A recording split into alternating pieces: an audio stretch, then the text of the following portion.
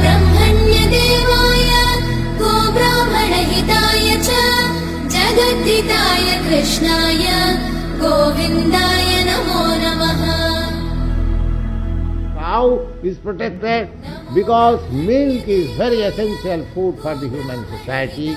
Therefore, uh, cow protection is the duty of the human society. That is the conception of Vedic literature.